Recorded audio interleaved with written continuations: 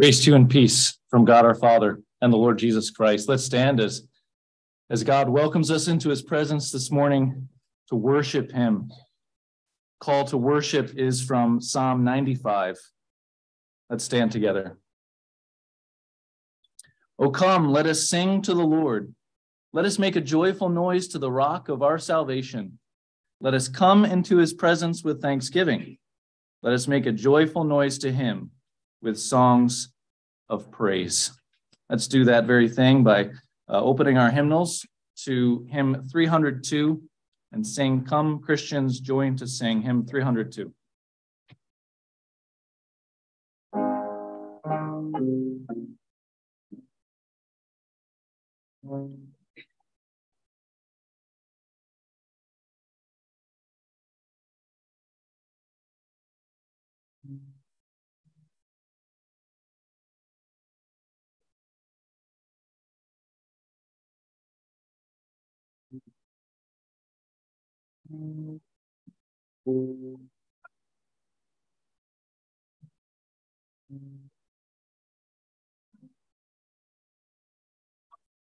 Christians join to sing. Hallelujah.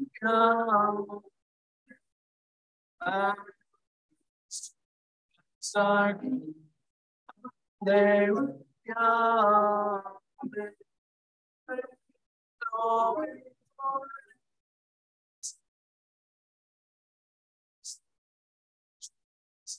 Jesus, gracious they come.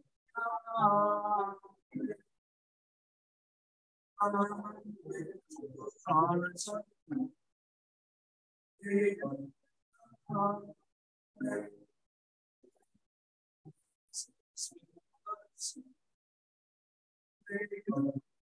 will.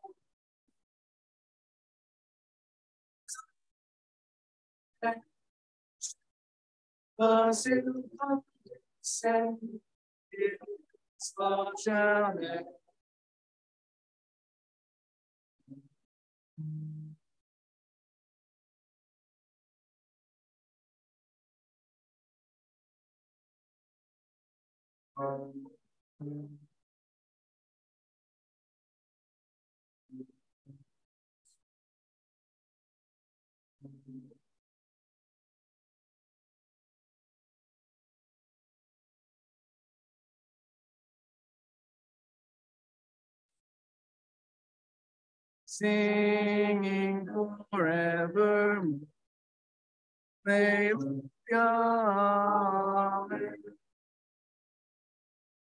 Let's pray. Our God in heaven, Father, Son, and Holy Spirit, we thank you that you have given us this gracious welcome into your presence to worship you in spirit and truth. We thank you that even now we get a taste of glory. We join the angels and the saints uh, who have gone before us worshiping before your throne. We pray that you would bless us by your word and spirit, build us up in our faith, continue to work in us that we might glorify your name. We pray all this in the name of Christ. Amen. Please be seated.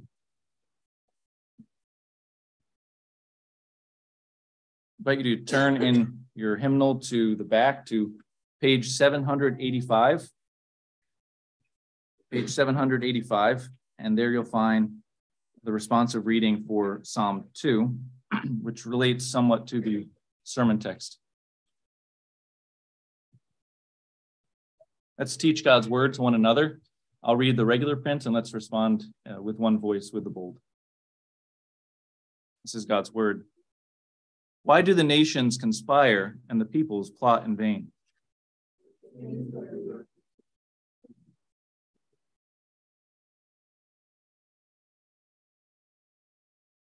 Let us break their chains, they say, and throw off their fetters.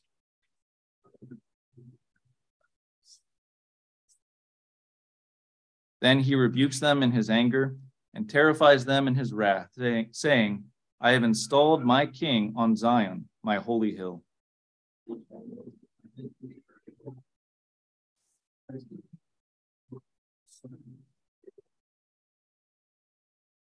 Ask of me, and I will make the nations your inheritance the ends of the earth your possession.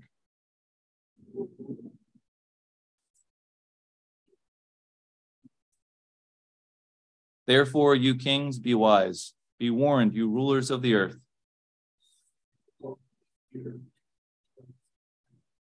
Kiss the Son, lest he be angry and you be destroyed in your way, for his wrath can flare up in a moment.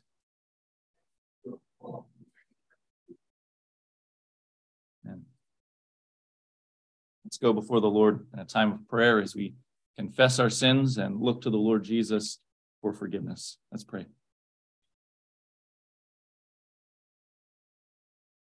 Our gracious Father in heaven, we come to you as humble creatures made in your image and yet distorted because of the fall, and yet redeemed by your grace in the Lord Jesus. And yet we still come as those who struggle with sin those who are yet to be completely free of sin, its presence in our lives. We await that day of glory uh, when we will be in your presence, spotless, cleansed, consummately made whole by your grace. But until that day, Lord, we, we struggle and we wrestle against the sin in our lives. We humble ourselves now to confess this sin before you. We, we confess the ways that we've used our tongues to set fire uh, around us and our relationships, to tear people down, to uh, speak a, a, quick word of, uh, of folly. We confess the ways that we failed to use our tongues to glorify you, to build one another up, and to speak the truth. Father, we also confess that our minds are often distracted by earthly things. Our minds are too uh, often set on things of this earth our own promotion, our own glory, seeking our, uh, our own uh, comfort in this life, rather than setting our mind on things above, where Christ is, rather than setting our mind on the things of your word, rather than setting our mind uh, to work on how to care for one another and encourage one another. Father, we, we confess the ways our hands and our feet have been quick to sin.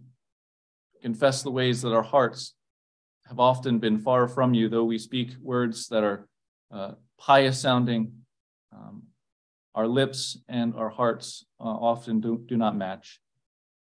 And so we confess these things to you because we are confident that you are a God who is quick to show mercy, quick to forgive. And we look to Jesus Christ, our Savior, who has been crucified, risen, ascended, and will come again to put all things right. The one who has welcomed us into his presence this morning, the one whose grace continues to work in us by his Spirit to sanctify us and to conform us more and more unto his image.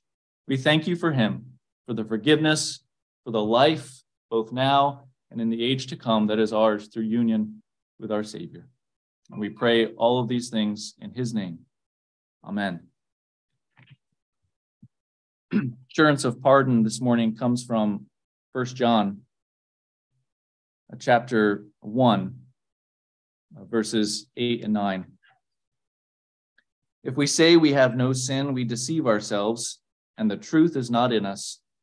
If we confess our sins, he is faithful and just to forgive us our sins and to cleanse us from all unrighteousness believer in the Lord Jesus Christ, you can be confident this morning that if you have confessed your sins before God, if you have looked to Jesus in faith, then you can be confident that He has forgiven your sins, that He has cleansed you of all unrighteousness, that Jesus is yours and you belong to Him. Let's praise God for this grace. Let's stand and sing hymn 295. Crown Him with many crowns. Let's stand and sing hymn 295.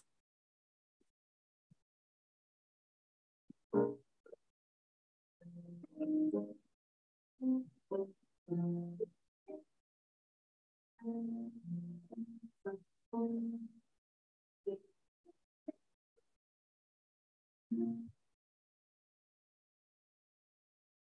him with many crowns, the Lamb upon his throne. Hark how the anthem drowns all music but song. My soul and sing. Who died for thee? Remembrance thy matchless King through all eternity. Found him the Lord. In his hands and side, which ones yet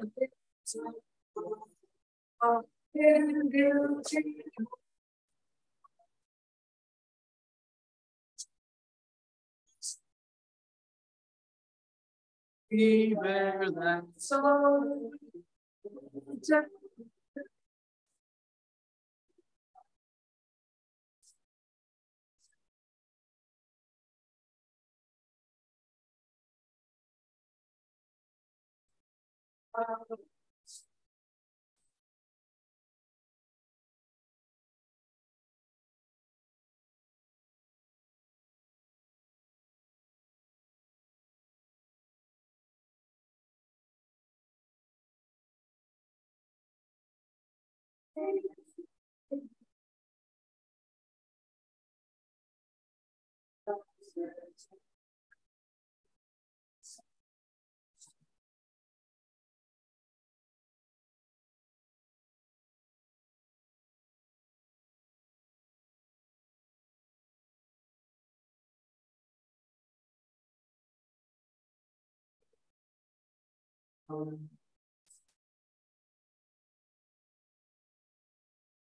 Please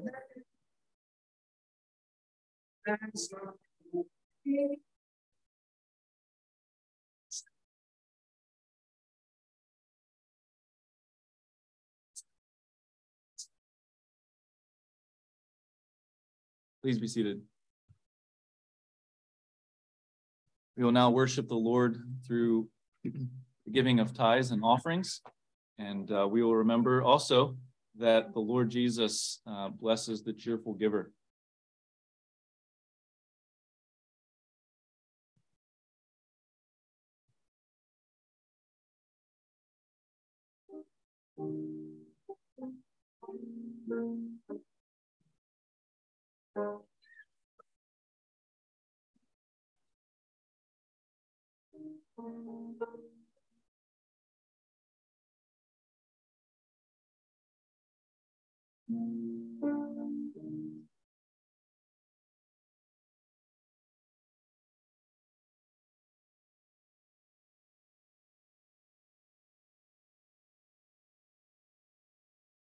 Let's stand as we sing the doxology together.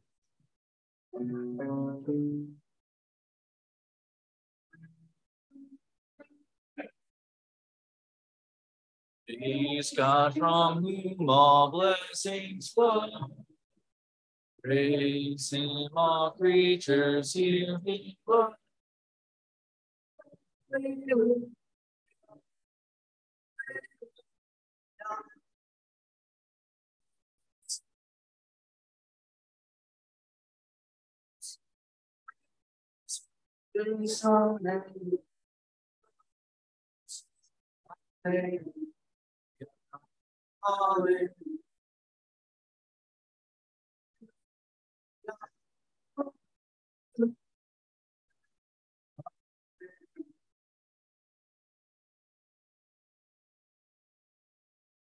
Let's pray. Father in heaven, we thank you for the many blessings you pour out upon us as your people. Not only the, the eternal blessings we have in Jesus Christ, but also your gracious provision for our daily bread, meeting all of our needs.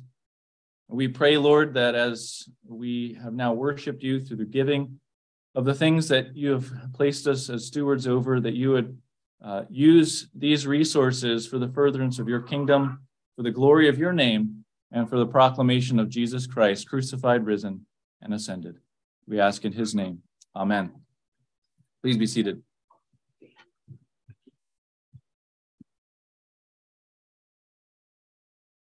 I invite you to turn with me in your Bibles to our sermon text this morning, Acts chapter 2. Our text will be verses 14 through 36. Last time um, Lane and I did a, a pulpit swap. Uh, I preached from Acts 2, the first 13 verses, the event of Pentecost. And so I thought it was fitting. I'm sure you guys all remember that. it's been over a year. But um, I thought it was fitting to uh, preach on, on Peter's sermon um, at, uh, after the Pentecost event. Acts 2 14 through 36. Let's give our full attention to the reading of God's holy, inspired, inerrant, and infallible word. But Peter, standing with the eleven, lifted up his voice and addressed them Men of Judea, and all who, who dwell in Jerusalem, let this be known to you, and give ear to my words. For these people are not drunk, as you suppose, since it is only the third hour of the day. But this is what was uttered through the prophet Joel. And in the last days it shall be, God declares, that I will pour out my spirit on all flesh, and your sons and your daughters shall prophesy, and your young men shall see visions, and your old men shall dream dreams. Even on my male servants and female servants, in those days I will pour out my spirit, and they shall prophesy. And I will show wonders in the heavens above and signs on the earth below blood and fire and vapor of smoke.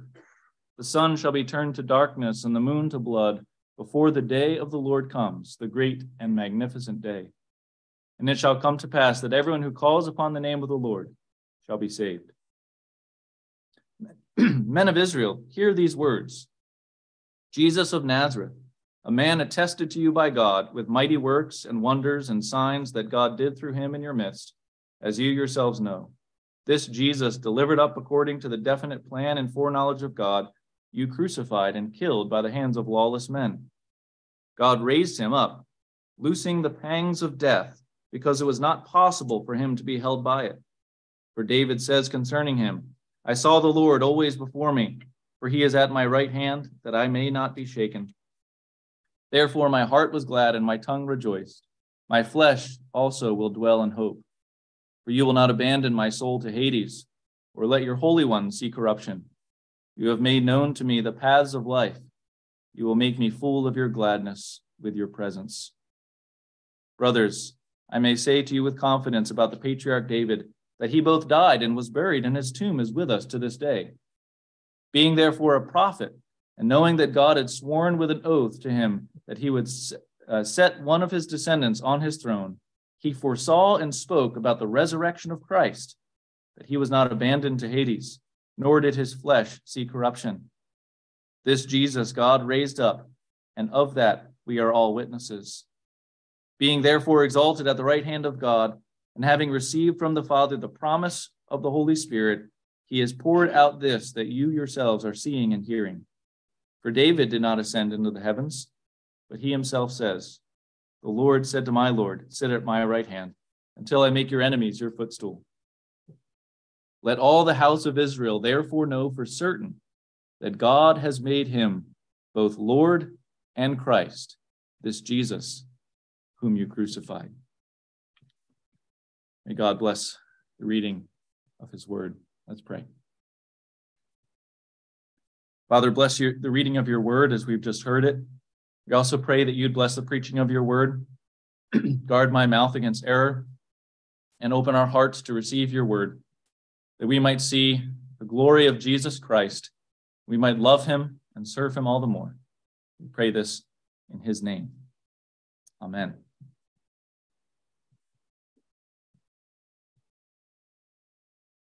Suppose that you are watching a football game for the very first time.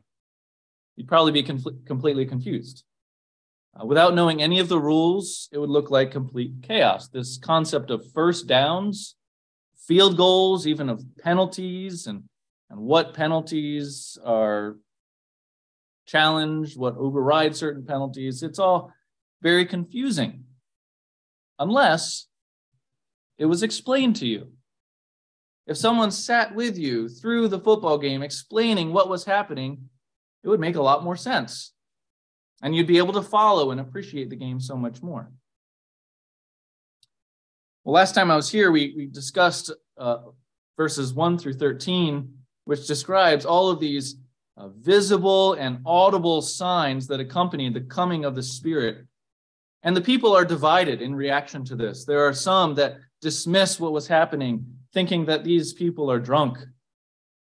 Others, however, want an explanation. They ask, What does this mean? And it's as if the Apostle Peter sits down with them to explain, as if he takes them play by play, showing them what is happening. And so Pentecost makes a lot more sense, and we can appreciate it so much more if we listen to Peter's inspired sermon. If I were to uh, summarize Peter's sermon in a single sentence, it would go something like this God has made Jesus both Lord and Christ, who poured out his Spirit to make you part of the age to come. God has made Jesus both Lord and Christ, who poured out his Spirit to make you part of the age to come. The, the audible and visual, uh, vis- visible signs at Pentecost pointed back to the Old Testament. They expressed the fulfillment has come in light of God's work through Jesus. And, and Peter's sermon complements those signs by expressing the same thing. He demonstrates from the Old Testament that fulfillment has come in the work of Jesus Christ.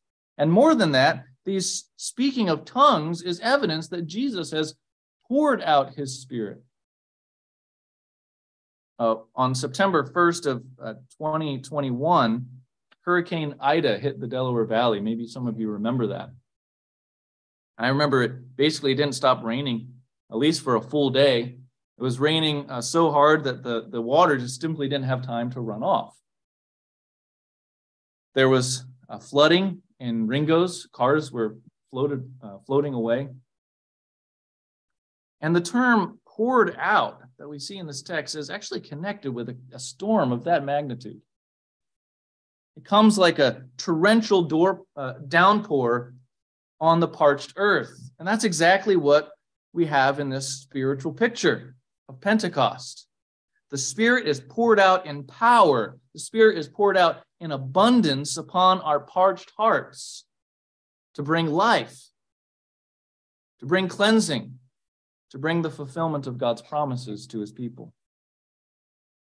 Peter quotes from Joel chapter 2, verses 28 through 32. But if you were to look back at Joel 2, you notice that he makes a significant modification in verse 17 of our text. Joel's original prophecy started with this and it shall come to pass afterwards. But Peter changes it to, and in the last days it shall be. Now, why would Peter make that kind of a change? Is he seeking to twist the, the scriptures? Well, absolutely not. Peter's inspired by the Holy Spirit to signal to his listeners that the last days have arrived. All that they are seeing, all that they are hearing is evidence that these are the last days. In other words, the age of fulfillment, the last days, this, this age of the Spirit has come with the pouring out of the Spirit. The new age of resurrection life, the age of the new creation people of God, the age of the new Israel, all these things that we see in the Pentecost event. Peter saying the climax of prophetic revelation has been inaugurated in the coming of the Holy Spirit. And you'll hear pastors, uh, you probably heard your pastor use that term inaugurated to speak of the kingdom of God or to speak of the last days. It simply means that something has begun, it's been introduced, but it is not yet complete. It hasn't reached its final goal. The kingdom of God has begun in the coming of Christ, but it has not reached its final or consummate form. The last days have been inaugurated already, but it is not yet the last day. It's the already and not yet concept that we see here in the fulfillment of Joel's prophecy. Notice the already of fulfillment of Joel chapter 2. God promised that he would pour out his spirit on all flesh. All kinds of distinctions, uh, earthly distinctions, have received the spirit men and women, young and old, every believer, without uh, the kind of distinctions that our world values. Everyone who calls on the name of the Lord has received the pouring out of the Holy Spirit into their hearts.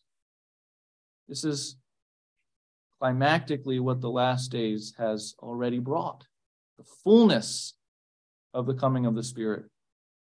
But the last days is also anticipating the last day. There's a not yet aspect. Notice the ap- apocalyptic language of verses 19 and 20. Here's the not yet, the, the judgment that will come on the last day with the return of Christ.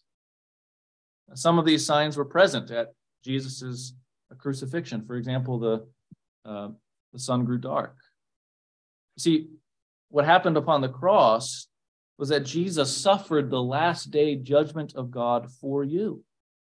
If you have trusted in him, the judgment of the last day has already been taken for you. That you no longer need to fear the judgment of the last day because in Christ you've been transferred out of this evil age and you've been made part of the age to come. You've been transfer, uh, transferred out of the age of darkness, out of this age of earthly death, demonic influence world to the kingdom of the risen and ascended Christ, into the age to come, the age of eternal life and eternal light. Think of it like this the age to come is breaking into this fallen and evil age. How is that age to come breaking into our current age? Through the gospel proclaimed in the church by the power of the Holy Spirit. With the arrival of the last days, there is an urgency to the spread of the gospel. The clock is ticking. Now is the time for the gospel to go out, to go forth to all the nations as the Spirit enables us to do so, as the Spirit brings life to those who believe. And this is what Peter's saying. The speaking in tongues signifies that the Spirit is bringing the gospel to the nations in ways we have never seen before in history. The gospel preached is the means that the Spirit uses to make people part of that glorious age to come, even now, as we become members of God's kingdom, as we become members of the church of Jesus Christ. And you have been given that Spirit. That Spirit dwells in you, the Spirit of the ascended Christ, the Spirit of the, the risen Christ, the Spirit of the living glorified Christ lives in you and in your midst as the people of God. And therefore, as a church, we all contribute to what it means to live in the age to come, to be already members of the eternal kingdom, even as we uh, do not, uh, even as we experience the not yet of consummate kingdom life. And so the outpouring of the Spirit signifies the arrival of the last days. But now Peter turns to speak about Jesus. And he shows here that the resurrection of Jesus proves that he is the Christ. Often uh, at a wedding ceremony, a pastor will quote Jesus from Matthew 19, verse 6 What God has joined together, let not man separate. Well, Peter moves into verse 22 to speaking about Jesus, and that same concept is really in operation. The work of Christ and the work of the Spirit are integrally connected. And what God has joined together, let not man separate. In the last days, the breaking in of the age to come is the age of the Spirit of the risen Christ. Through Jesus' resurrection, the Spirit is raising believers to new life. The Spirit applies the resurrection of Christ to make you alive. According to God's plan, Peter says Jesus was crucified, but he doesn't dwell on the crucifixion. As important as the cross is to the message of the gospel, Peter's emphasis here at this Pentecost sermon is on the resurrection.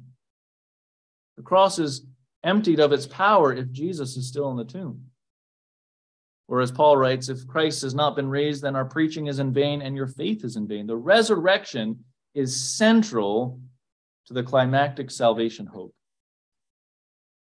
Peter quotes from the Old Testament again. He, he demonstrates that Christ has brought this age of fulfillment. He quotes from Psalm 16, a Davidic psalm. Verses uh, 27 and 28 of our text highlight the main point of why he's quoting from this psalm. For you will not abandon my soul to Hades or let your Holy One see corruption. You have made known to me the paths of life. You will make me full of gladness with your presence. In the resurrection, this is what God has done for Christ. He has made known to him the paths of life. Another way to put it is this In the resurrection, Jesus is the first man to enter into the age of the Spirit, the age to come, the age of glorious, unending, irreversible life. See, this psalm was never actually about David, or I should say, never ultimately about David. It was about David, but not ultimately about David.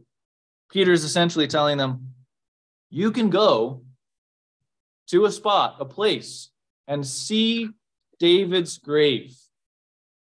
But David was a prophet. And David foresaw by the power of the Holy Spirit, David spoke about the resurrection of his greater son. This psalm is about Jesus, the risen Christ. And Peter uses that, that term Christ in verse 31 when speaking of Jesus' resurrection. Christ, as you may know, is, is the Greek word for Messiah, which means anointed one. Jesus is the Messiah, he is the anointed Davidic king. And that term Christ or Messiah is loaded with all kinds of Old Testament themes of deliverance, of redemption. And so when Peter speaks of Jesus' resurrection, he's drawing attention to the climactic redemptive event. Without the resurrection, there is no forgiveness of sins. Without the resurrection, there's no eternal life. Without the resurrection, there's no age to come. Without the resurrection, Peter's saying Jesus is not the Christ. But how does Peter end his sermon? God has made him the Christ, this Jesus whom you crucified. Jesus is the Christ. Jesus is the Messiah. Jesus is the risen Redeemer of God's people. But how do you and I today have access to Christ? Do we need to be at the empty tomb? Do we need to uh, wit, be a witness like Peter and the other apostles of his resurrection for that life to have any fruition in your life?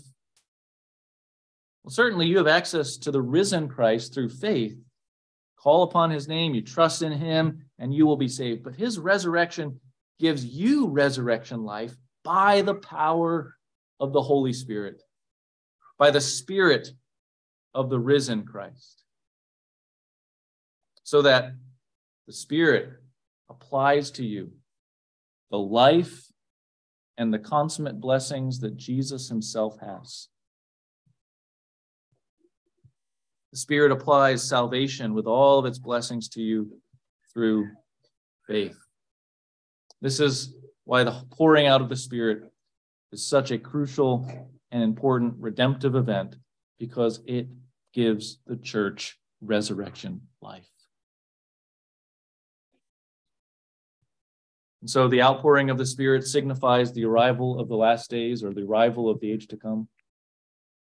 The resurrection of Jesus proves that he is the Christ who gives life to his people by the Spirit. But more than raised, Peter also tells us that Jesus is enthroned. The ascension of Jesus confirms that he is the Lord. Another way to put it is that Jesus is not only Redeemer, but he's also Lord. Um, many of you remember years ago, there was a debate in many circles of Christianity over an interesting question Can someone have Jesus as their Savior, but not have him as their Lord? Can someone trust in Jesus as their Savior, have the forgiveness of sins, eternal life, but that faith have no practical, ethical effect upon the way that they live?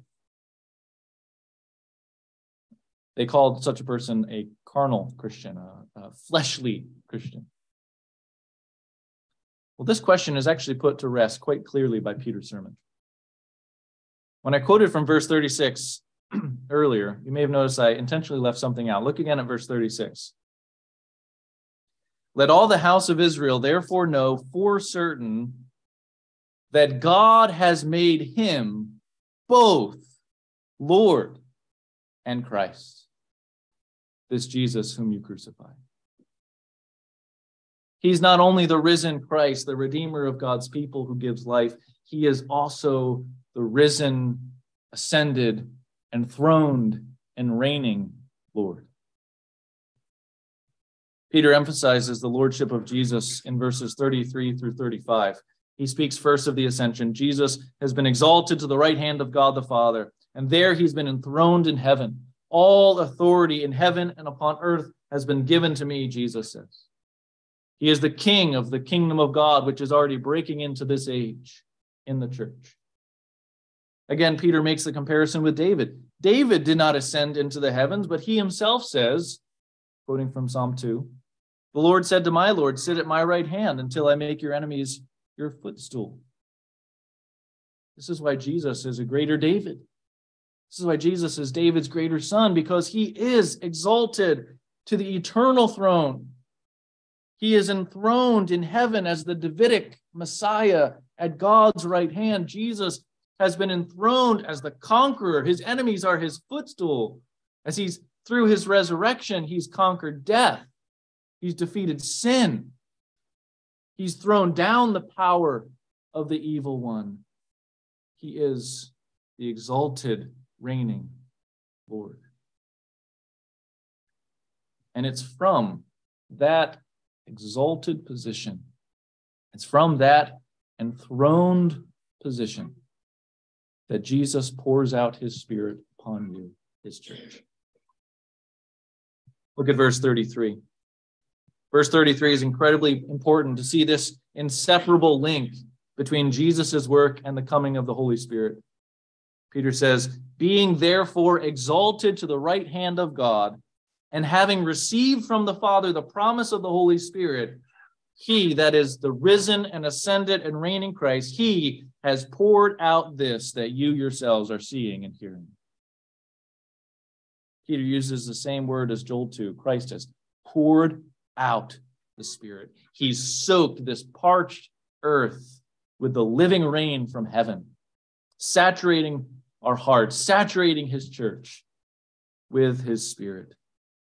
As King, he rules to defend us, he conquers our enemies.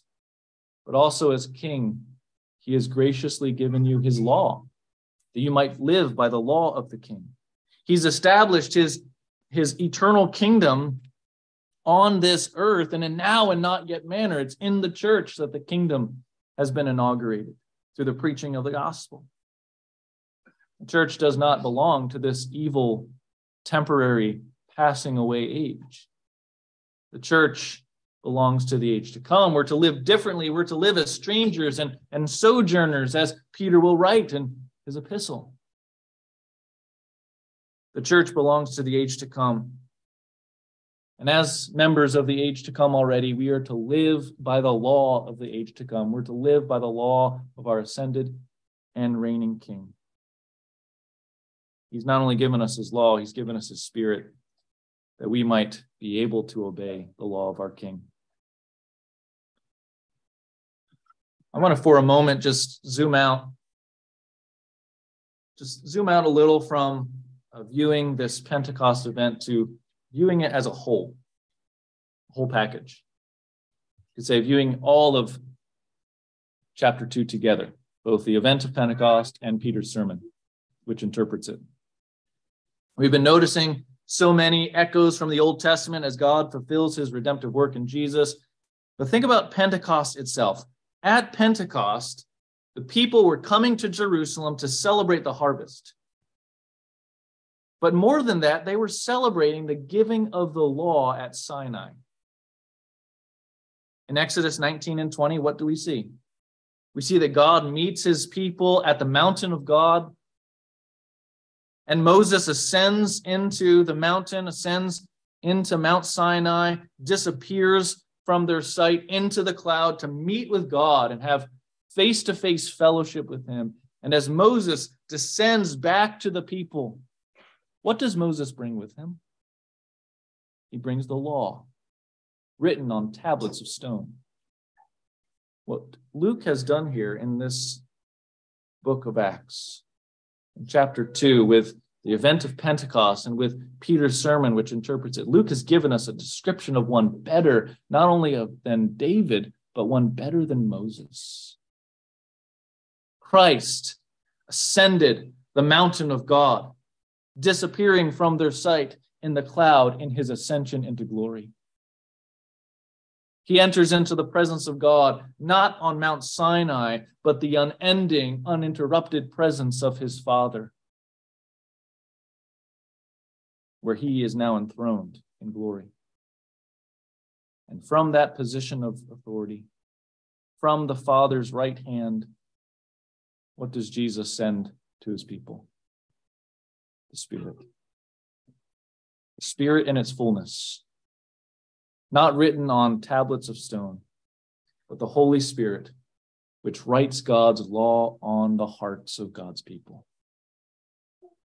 By his resurrection and ascension, God has made Jesus both Lord and Christ in a climactic, redemptive way. By his Spirit, Christ has made you his people by his Spirit, he is your Lord and he is your Redeemer. You've been delivered from this evil age by his resurrection.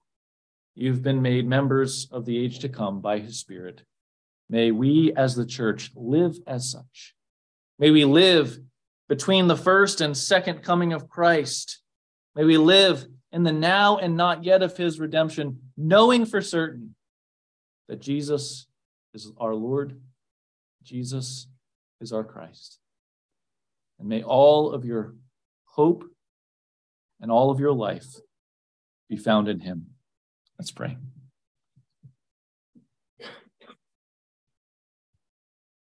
Gracious Father in heaven, we pray that your church would know for certain who Jesus is as enthroned, as risen, as ascended, as enthroned in glory, as the one who's given us his spirit.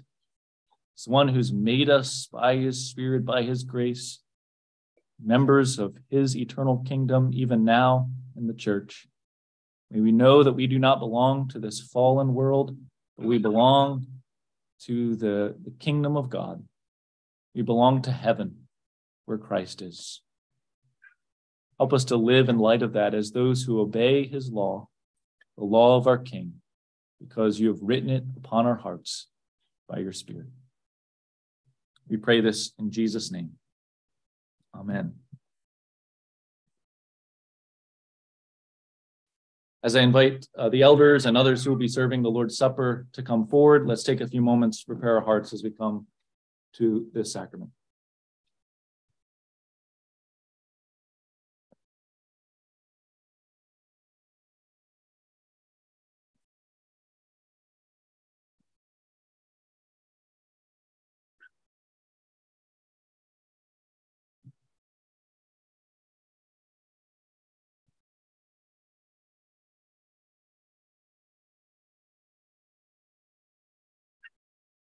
The Lord Jesus instituted this meal, this sacrament, in Matthew chapter 26, verses 26 through 29.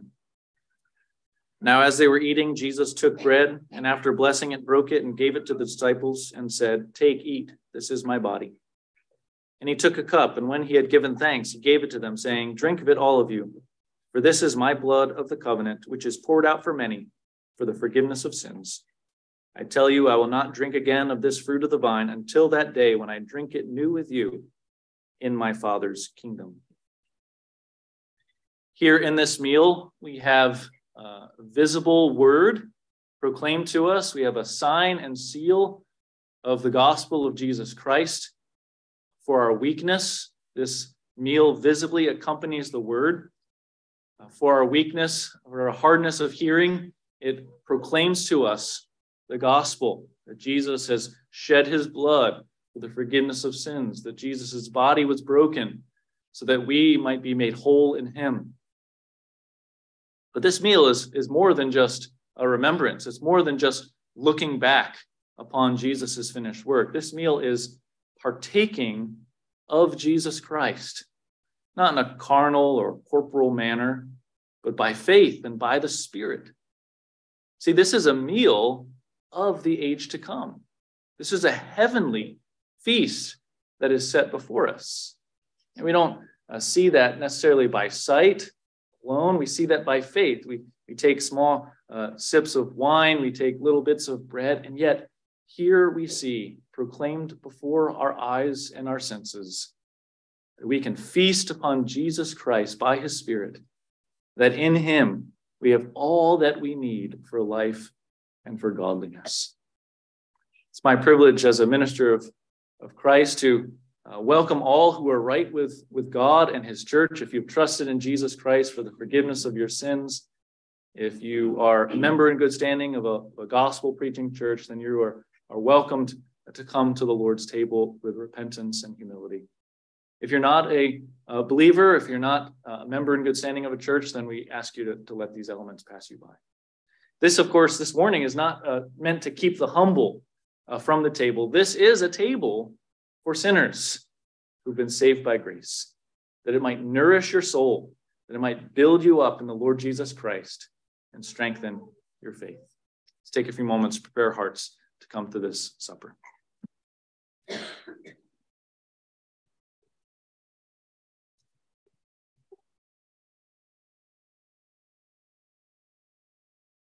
Father in heaven, we thank you for this meal which accompanies your word to help us when we are often slow to hear, hard of hearing, slow to remember, that it presents to our senses the gospel proclaimed to us. May we partake it by faith.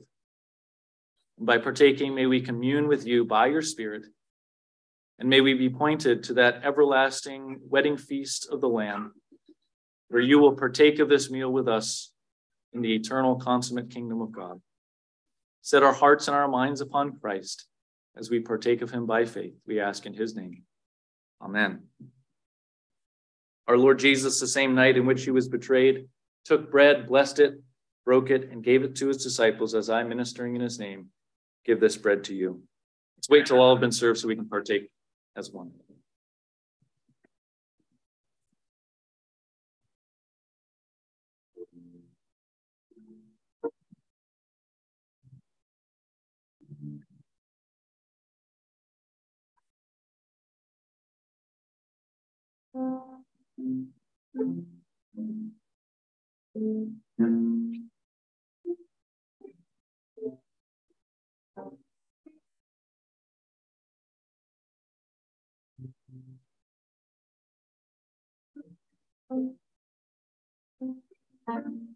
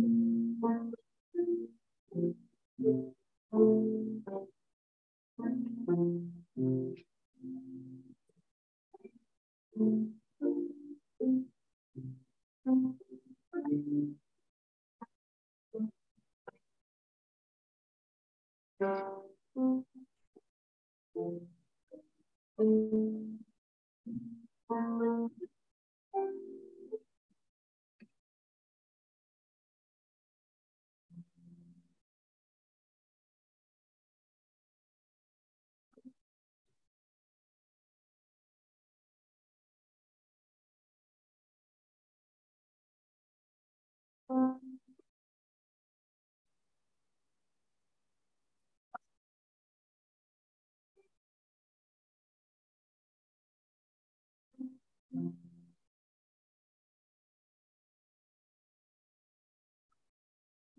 Lord Jesus said, Take, eat, this is my bo- this is my body, which is for you. Do this in remembrance of me. Let's partake together.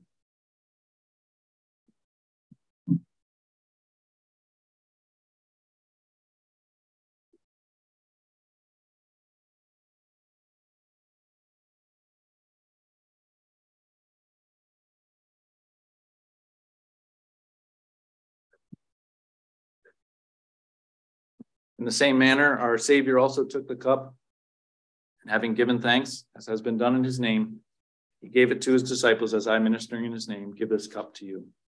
I believe the outermost ring is wine, and everything in the middle is, is grape juice.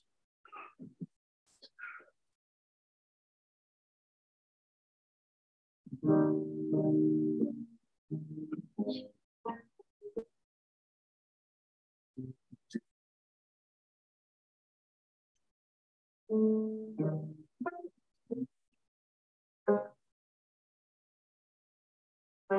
mm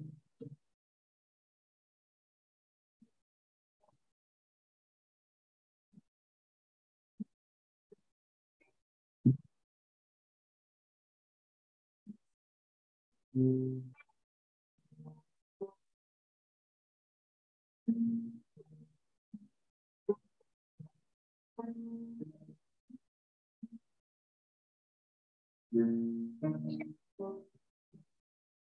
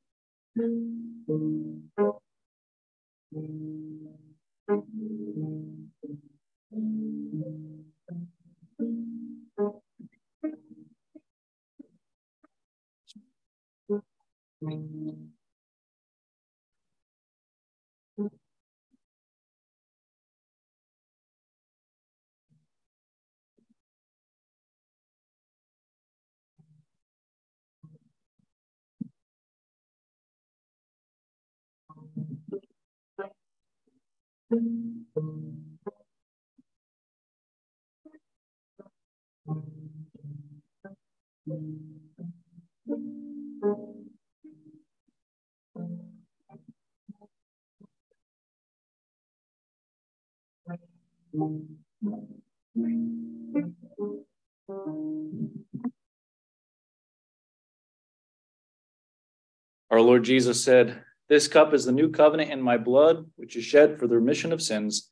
Drink of it, all of you. Let's partake together.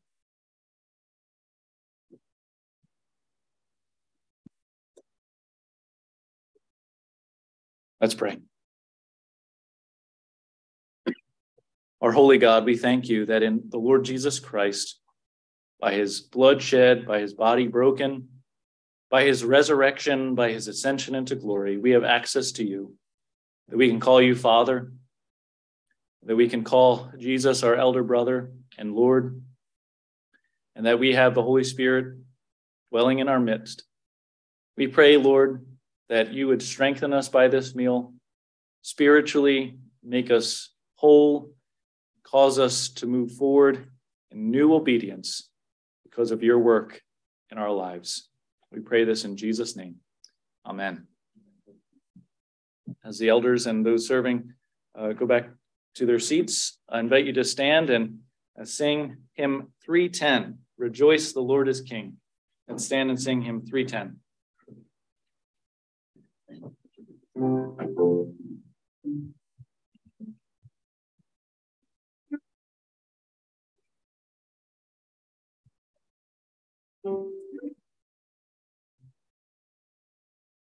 Joyous the Lord is King, Lord and King of Rejoice, give thanks and sing and triumph.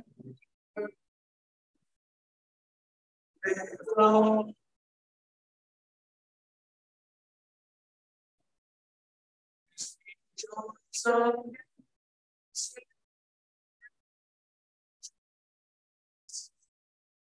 Jesus, the Savior,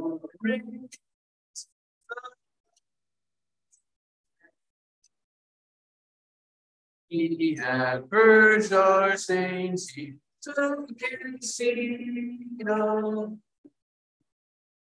death.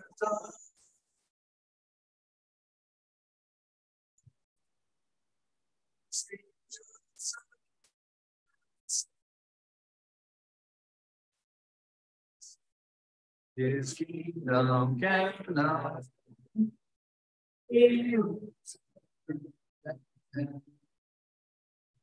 He's a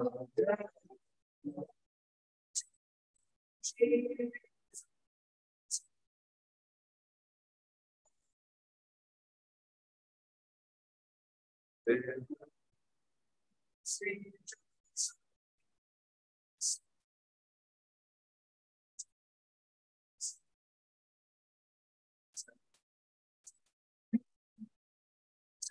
Holy souls.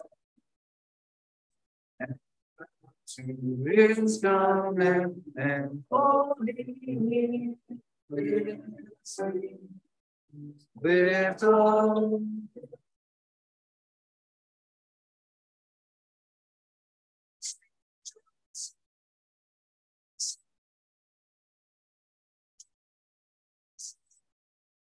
Joyce and glorious. I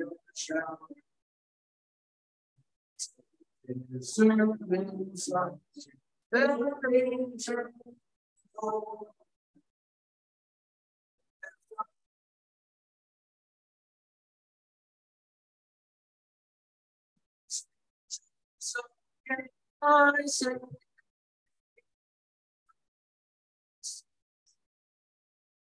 Please be seated.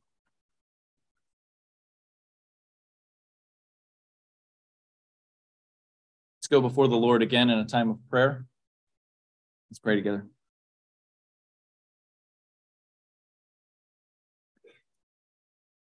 Gracious Father in heaven, we thank you that we can call upon your name.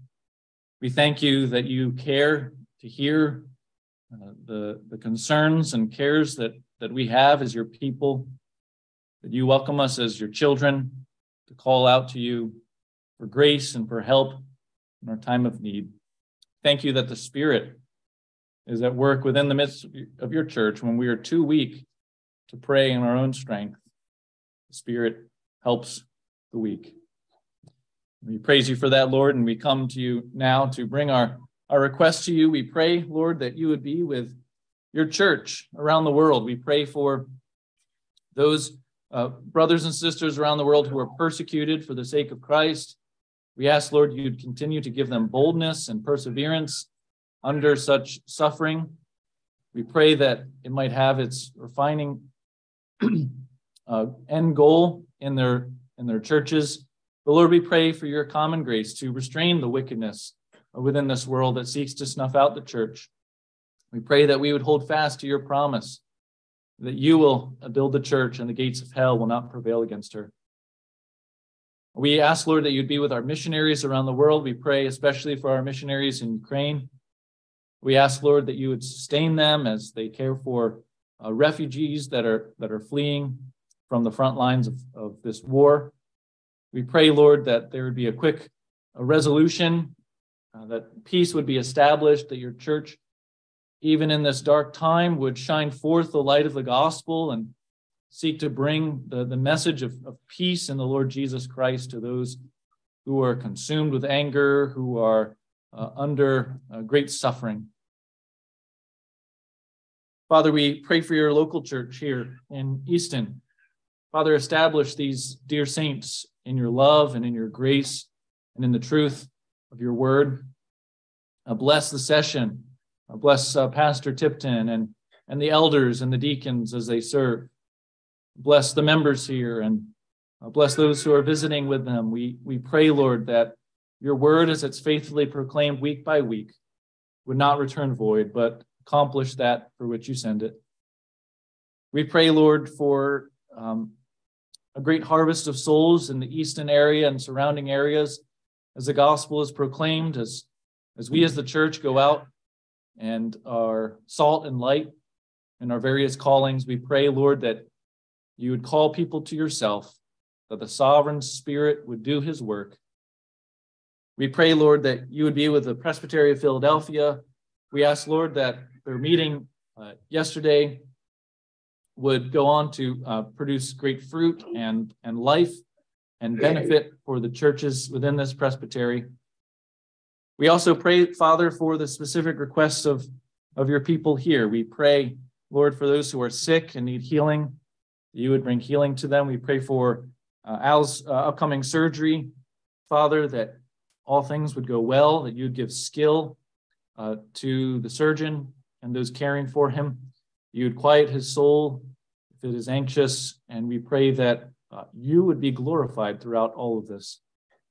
We also pray, Father, for those who have been hospitalized, for those who are in pain, for those who, who need help, that they would know of your, uh, of your abiding presence with them by your Spirit, that they would receive the help and care that they need, and that they would look to the Lord Jesus Christ as risen and glorified, the one who will um, give us glorified bodies uh, when he returns.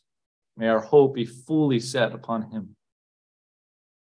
We pray, Father, for uh, the individuals and families of this congregation. We pray for the covenant children here, asking, Lord, that you would work in their lives, that uh, they would never know a day when they did not call upon you as their Lord and Savior, and that you would provide for the next generation of the church and even raise up elders and deacons and pastors from the covenant children here and, and faithful members of your church that, that serve throughout their lives for the sake of Christ. Father, we pray for all the needs upon uh, the prayer list. Lord, you know them better than I do, and we pray that you would care for each and every one who is in need. We pray for those of us who have loved ones, whether it be family or neighbors uh, or friends that do not know Christ. May you work in their hearts. May you use us as your instruments to bring the gospel uh, to them. May our, our love for them um, also be a, a picture of, of Christ's love uh, for the lost. And we pray, Father, that you would equip us in every way to be those who are rooted and grounded and established in your word, those who trust in Jesus Christ, and those who obey him uh, for the glory of your name. We pray all this in Jesus' name. Amen. Brothers and sisters in the Lord Jesus Christ, uh, please stand now as God Himself dismisses you with His blessing from His word in 2 Corinthians 13 14. The grace of the Lord Jesus Christ, the love of God the Father, and the fellowship of the Holy Spirit be with you all. Amen.